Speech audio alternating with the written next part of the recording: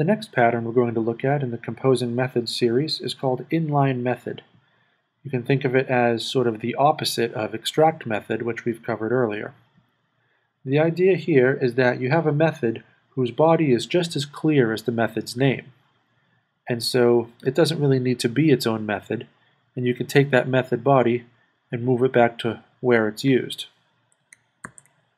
So here we'll take that logic and replace this method call with it. And now we have this method that's no longer used and we can just get rid of it. Now, of course, there are other things to consider in, in examples of this. In this particular example, it was only used in one place.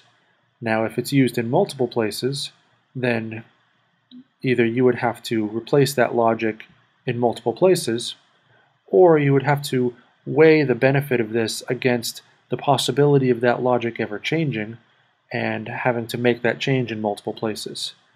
If the method's existence is to provide encapsulation around a piece of business logic, then it probably wouldn't be a good idea to pull that logic out of that method and put it in multiple other places.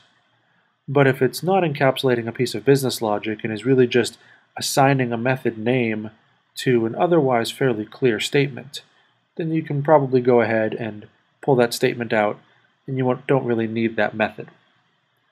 And that's it for the inline method pattern. Thanks for watching.